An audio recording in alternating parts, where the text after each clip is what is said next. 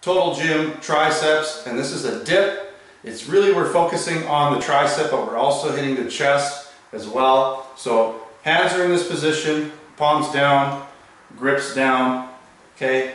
Just free flow under the armpits there a little bit. I'm just gonna hold on to the bench like this and scoot down so my head is just touching the top. And so here we are in this position. The way the straps are under our armpits. I've got the palms down, my wrists are in this position, right?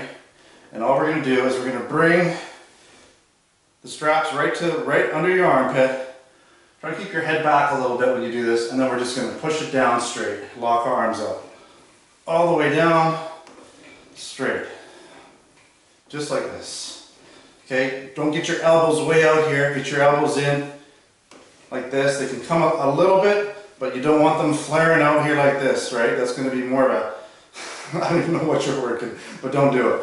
Okay, so just keep your elbows nicely tucked in, straight, up and down, right to the armpits, full range of motion.